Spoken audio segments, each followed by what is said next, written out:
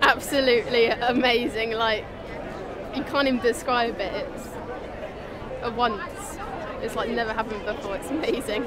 I was really proud, yeah, just to show the men that women, the women do count and that they're not just playing around like little boys in the playground and they are actually doing this as a job and they are good at it. This is the tipping point, I think.